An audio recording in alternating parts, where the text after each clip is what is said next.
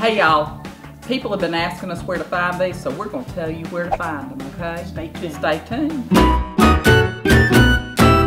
Hey sister, why don't you tell us what you did last week?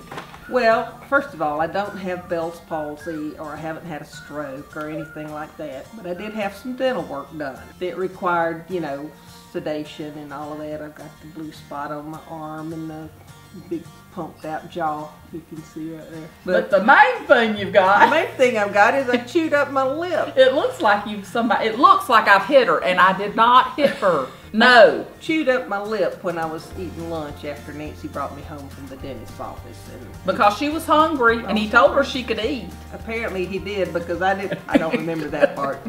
It's I, I amazing. don't, I don't even remember getting home. It's amazing the things you can tell her and get her to agree to, and then later you can talk back about them, and she's like, "I don't remember that." And, oh yeah, we talked in length about this. That evening, sister brought me some dinner that was really, really good. She brought me some chicken and dumplings, and, and she put a picture up about that, and a lot of y'all like that, and we're asking about the dumplings.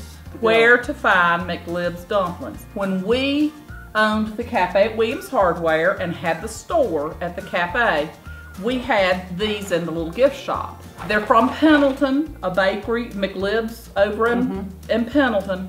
They're not easy to find around here, so we had to do a little research. Some of you were helpful on that post. Yep. I think Martha Vaughn said she found them down at the food, food line down in Greenwood. Well, who's going to drive to Greenwood? I mean, really. What about if we just go over to Cedar Lane Road? Cedar Lane Road.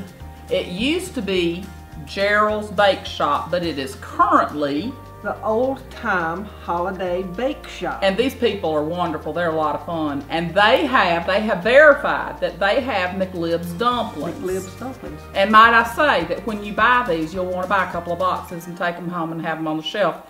Have them at the ready. It is a wonderful meal for a cold, rainy, horrible evening when your sister, bless her little heart, mm-hmm.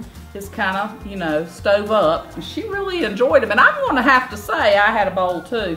And they were what I like to refer to as particularly good. give us a big thumbs up and like this post and uh, subscribe to our channel and share this idea with your friends because they, I think, will like some chicken and dumplings too.